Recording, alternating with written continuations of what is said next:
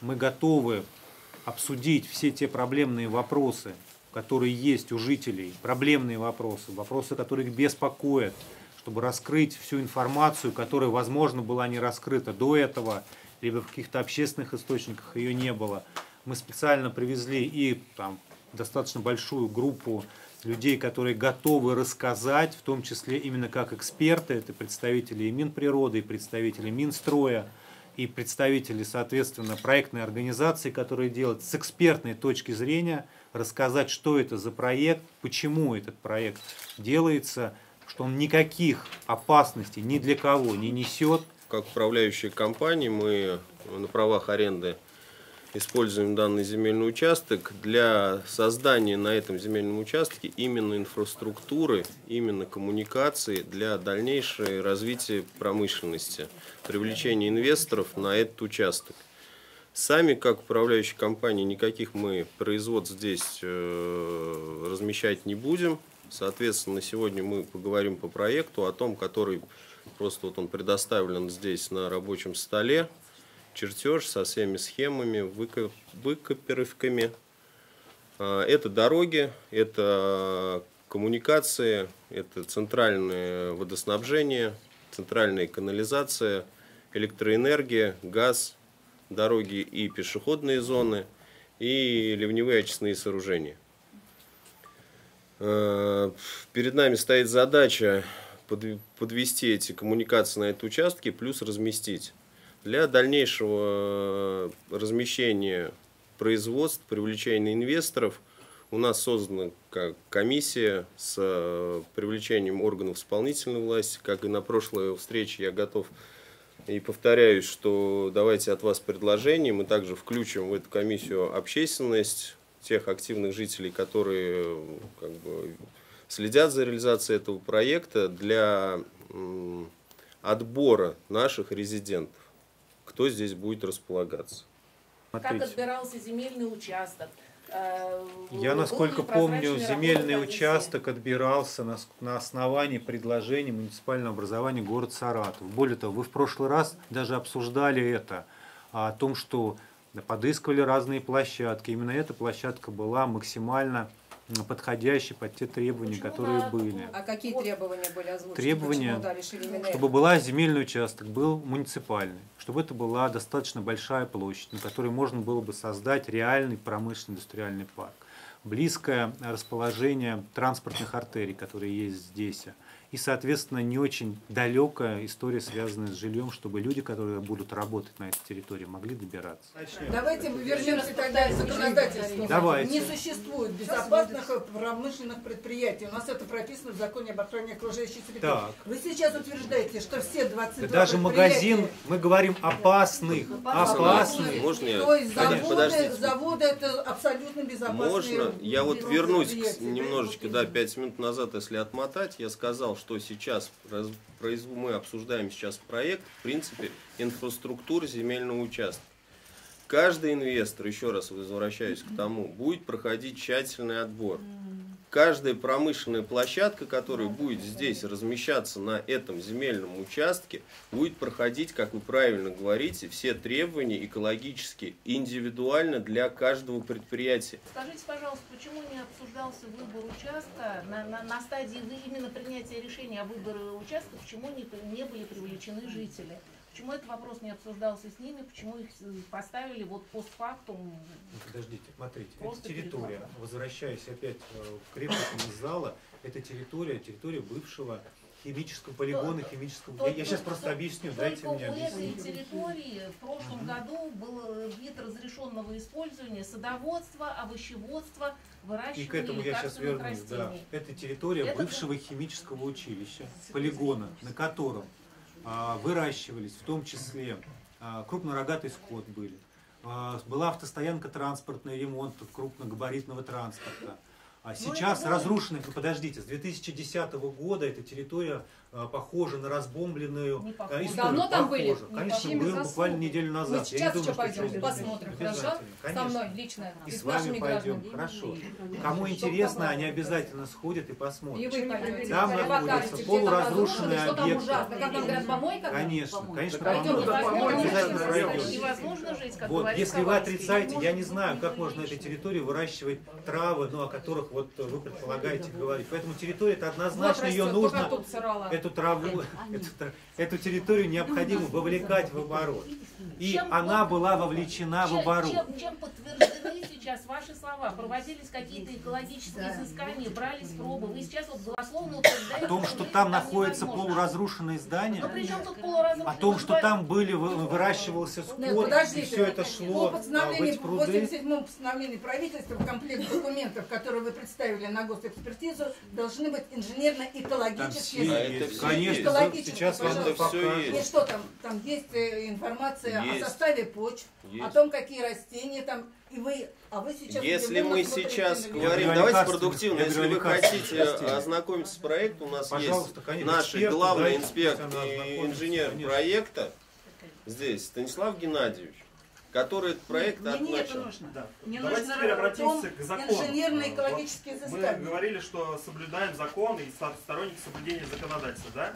А, активные жители данной местности сделали запрос значит, в а, Межрегиональное управление Федеральной службы по надзору в сфере природопользования по Саратовской и Пензенской областям. И задали вопрос, вот этот проект Столыпинский индустриальный парк, он действительно подлежит экологической экспертизе или нет? Вы утверждаете, что нет, данный объект не подпадает. Однако у нас вот есть мы вам торжественно вручаем ответ э, данного ведомства, так. который как раз таки говорит, можете зачитать, что а, вот второй абзац, можете э, начать с него. Может, а, как раз говорит о том, что данный объект подлежит. А, а можно ваш вопрос, что который вы, вы задавали, ставили, какой да. вопрос?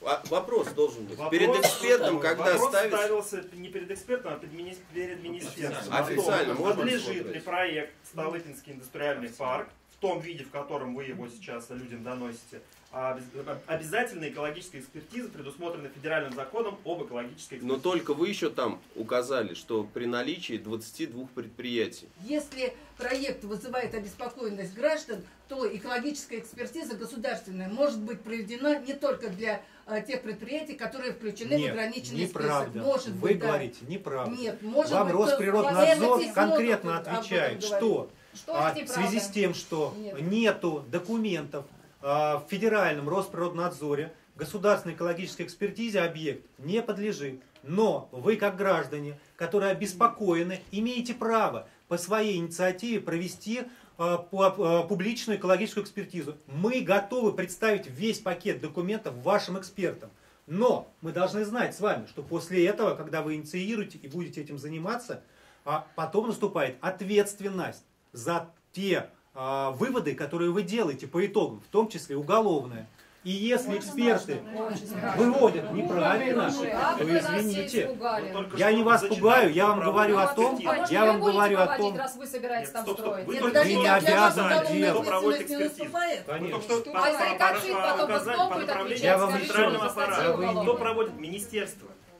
Вы еще раз поймите, если в законе указано, что объект подлежит госэкспертизе, вот она написали его министерство, что подлежит. Я просто боюсь. индустриальный парк, в кавычках, да. подлежит государственной а, коллеги, коллеги, я что все понимаю, непонятно? вам непонятно, что вы читаете, простите. Каким непонятно? Я объяснил, что там Нет, еще раз, что там было непонятно? Еще раз объясняю. Росприроднадзор вам отвечает, что если данный проект подлежит государственной экспертизе, то, безусловно, его проводит Росприроднадзор если он подлежит в соответствии с законом. А что значит если? На основ... То есть, значит, если. Потому что в законе, нет, в законе написано, вот об законе об экологической экспертизе, какие объекты подлежат. Есть список предприятий. Объект один у нас сейчас один объект. Неважно, какие вы там Да вы не понимаете, этот объект, этот объект инфраструктурный, он не порождает за собой за собой выбросов как таковой, потому что это коммуникация, конечно. Завод? И будет проходить экспертизу, если будет в этом необходимость. Давайте на это. Вы не необходимость. слышите меня. Я слышу вас. У Столыпинского парка, как управляющей компании, созданы инфраструктуры, выбросов нет, их будут, возможно, в будущем образовывать А кто-то. Выбросов И когда будет строиться резиденты, мы некие предприятия, да нет, А вы прекрасно знаете, про что конкретный Конечно. Нет, мы о значит, я территории, которую они что сейчас- Смотрите, исключительно, Дальше ведения коммуникаций и да, Инфраструктуру, дорог, он конечно. не подлежит э, Безусловно. э, Так он и не может да. Идем дальше. То есть мы все, все тут собравшиеся правильно понимают, что в целом проект Столыпинского парка не проходил вот с этими 22 предприятиями, не Так их нет. оценивался Так их нету. Марина, так их нету, этих предприятий. Как вы можете что-то же будут. Так они же Так будут. когда они А будут появляться, каждый из этих предприятий будет проходить соответствующую процедуру. А будет это По-другому вот, быть не может. Да не бывает такого. Такого не бывает. Не может быть. Слушайте, нет, мы не знаем резидентов, которые за это. Высказались жители всех поселков. Собрали подписи. Те бабушки, которые не могут подписать, они нам на бумаге расписались. Понимаете? За то, чтобы этот проект не находился здесь. Для вас недостаточно этого, чтобы начать рассматривать другой вариант. У нас нет другого Ну Что как, значит что нет нет другого варианта? Промзоны простаивают, ВСО промзоны простаивают. От Елшанки до Сокорского. Национализируйте земли, которые нецелевое мы используем. У нас, я насколько понимаю, что в СНТ люди, которые живут А рядом, есть не только за, ну, или не только против, но и за то, чтобы там промпарк появился. Пожалуйста, Единицы. Пожалуйста. Вы таких А не знаете. СНТ еще раз? Мы Это жители уже поселка. Это не СНТ. Жители Я из? Жасминного. Жа- Давайте называть. Жасминного. Вы Жасмин. Нам Да. Так хватает. Соколовой. Смотрите. Сейчас, где проживают жители. Же- Вам зачем Так подождите, нужно? а чем вам мешает парк? Мы воспринимаем своих, ну как бы, да, тех жителей, которые мы их воспринимаем серьезно. И мы понимаем, конечно, что они хотят. Это вы не понимаете, а мы Нет, понимаем, мы наоборот, жители. экспертизу Поэтому, если вы не можете этого самое сделать, главное, подобрать другое место, мы тогда займемся это, этим вопросом вместо вас. У нас есть место вот это. А А мы не согласны с этим местом. Вы определитесь, или экспертизу мы этом вам месте расскажу. делать, или новое место искать. Новое место. Новое? Место. делаем еще раз. Оставьте наши места отдыха. Оставьте нам воздух наш чистый. Придет кто-то, скажет, а мне нужен. Нет, Понимаете? Кто? Никто. Хоть один сюда пришел, сказал. в большинстве. Давайте организуем общественное слушание. Значит, по поводу невозможности найти другой участок. Давайте вот вообще вот посмотрим э, с рублевой точки зрения. Согласно договору аренды, стоимость вот этого земельного участка 678 миллионов рублей, кадастровая стоимость.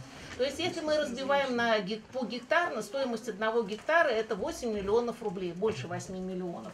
Что делает э, технопарк? Значит, что вообще такое технопарк? Технопарк сейчас развивается на казначейские кредиты федеральные, которые потом региону придется отдавать. То есть вот на первом этапе парк получает 830 миллионов рублей, которые вот уже радостно, видимо, делит управляющая компания, вот как раз на подведение инфраструктуры и так далее. На втором этапе будет затребовать еще 1,7 миллиарда рублей, потому что общая стоимость бюджетных кредитов, которые пойдут на обустройство парка, составляет 2,5 миллиарда рублей. Дальше приходят резиденты, и вот эту вот дорогущую землю, которую бы с руками и с ногами оторвали бы девелоперы, сами бы подвели коммуникации, не требуя никаких бюджетных средств, заплатили бы дороже 8 миллионов за гектар и настроили тут экологически чистые коттеджи и развивали бы нормальную зеленую зону, что дел, будет делать управляющий парк? Он будет ее отдавать без торгов и резидентам, продавать точнее, по смешной цене 116 тысяч рублей. Если, как вы предлагаете, и, и не дай бог это, конечно, случится, вы построите эти парки, и жители, те, кто бы- были не согласны с заходом сюда каких-то предприятий, они смогут повлиять на выбор. Мы говорим, Мне еще раз, кажется, мы- что это нет. Ну, услышьте меня, я опять, я предлагаю вам сейчас официально, первое, создать, во-первых, общественный а, группу, комитет, как его хотите назвать, войдите туда вы, вы, вы, и же именно жители, да, Да, которые, жители, которые да. волнуются, не Да. эксперты пришли из ниоткуда, Да. а жители. Мы вам дадим возможность участвовать и принимать решения. Я дальше вместе. продолжу. Да, Дальше. Мы готовы вас лично привести в, э, в комитет, который будет выбирать тех или иных резидентов, которые будут доказывать на комитете, почему он туда может зайти. Я объясню, почему он должен доказывать. Второй вопрос важный. Нет, это не, Не, не, не- будет этого вопроса. вопрос. И вы будете иметь там право голоса наравне вместе с ним. Вас собирается Следует- Вас. Тогда третий вопрос. Если я, как житель, уже изначально против этого парка, то есть мое мнение будет субъективно, ну, с вашей точки зрения. Потому что скажут, вот это хороший, а я скажу, нет, он мне не нравится. Потом предложат другого, скажут, да тебе что не предложить, тебе все не нравится. А я не хочу, понимаете, я не хочу дышать. Я не хочу вонью дышать этой. У нас жиркомбинат постоянно, как проезжаешь, там не знаю, что они варят. Почему У вы нас решили, что здесь будет вонь? Да у а что там будет? У нас современное хоть одно предприятие по новым требованиям есть. построить, потому что они старые. У нас у МПЗ через дорогу. Это Вы приедете, вот если Старые. есть у вас желание. Но если есть желание, у вас приедете часиков в поймите. 11, в 12, там, в час ночи к нам же осменку, и подъедете к железке. Вы, по- вы подышите, разные и вы, не, мы не про разные. А сами мы, мы говорим у про подход государства к организации вот этого всего. Вам люди все, ну не все, пускай половина говорят, мы не хотим здесь промку, постройте ее в другом месте. На Тантале, на ВСО там, я не знаю, блин, в заводском районе, где есть эта инфраструктура, где есть трубы, где есть там мощности по электричеству, где газификация уже есть. Зачем сюда? Зачем сюда уничтожать? Сделайте нам доброе дело, сделайте нам парк, велодорожки там, я не знаю, какие-нибудь качельки. по- Вот вы, вы говорите, что там разрушенные здания. Но кто их разрушил? Государство. Государственные органы, потому что в свое время они не обеспечили там, не знаю, финансирование и так далее. Ну разберите их. Не надо там закатывать газоном. Сделайте нам просто дорожки, чтобы мы могли гулять, чтобы я с сыном зимой туда на санках как ходил, так и ходил. бы. коньках На коньках ходил кататься, а не упирался в эти заборы здания, там непонятно во что. Здесь на территории, отвечая на этот вопрос, а управляющая компания, как мы сказали в самом начале, готова создать вам общественный Вы, институт, вы не слышите. детскую да? Нет, площадку, нас вас никогда не слышит. спортивную площадку. Мы, наоборот, Ой, готовы вместе с вами сожалению. определить место Ага, возле прудов. Господин вы хотите. пожалуйста, услышьте. Ну, я услышал вот вас, именно вы мое. Я не не говорю за всех, вот мое личное мнение. Пожалуйста, не надо нам промку здесь создавать. Просто не делайте промку. Сделайте парк. Сделайте что угодно, там, я не знаю, какие-нибудь карусели, качели. Там, ну, аквапарк построить. А то мы в Пензу мотаемся, чтобы покупаться. Я предлагаю закончить на сегодня нашу встречу. А, те инициативные а, граждане, председатели СНТ, которым сейчас необходимо в частном порядке, если Розалия Рашитовна, а, Александр а, Олегович проедут там на территорию, или, допустим, вы как руководитель общественного совета по экологии, вам необходимо ознакомиться с проектной документацией. Все сотрудники министерств здесь остаются. И в частном порядке уже а, будем работать с той документацией, с проектом, выезд на место, отпустим прессу, отпустим а, тех людей, у которых а, не возникло вопросов. И я думаю, здесь необходимо, а, Вячеслав, да, а, предоставил а, запрос, на который уже министерство ответит предоставлением документов. Также все-таки я предлагаю вам, как э, общественным э, гражданам, которым это все не безразлично, подумать над предложением Александра Олеговича создать рабочую группу, которая будет э, непосредственно взаимодействовать с управляющей компанией и провести еще одну встречу уже после получения а, заключения или а, если будут какие-то замечания. А, мы когда первый раз с вами встречались, я на той встрече рассказывал чуть а, больше, чем сегодня. Я говорил, что у государственной экспертизы будет и есть еще, возможно, масса замечаний, о которых сейчас заказчик даже не знает, потому что это государственная экспертиза. Поэтому следующую встречу здесь а, Александр Олегович, Алексей Сергеевич уже по результатам прохождения проекта назначат, до вас доведут, но за это время, мое мнение, необходимо создать совет, который непосредственно мы, как администрация Гагаринского района, тоже будем включены, чтобы контролировать каждого резидента, который будет здесь а, присутствовать. И о чем говорил в начале Алексей Сергеевич, я тоже предлагаю это взять за основу, что нам необходимо будет продумать те зоны рекреации, которые им необходимо будет создать.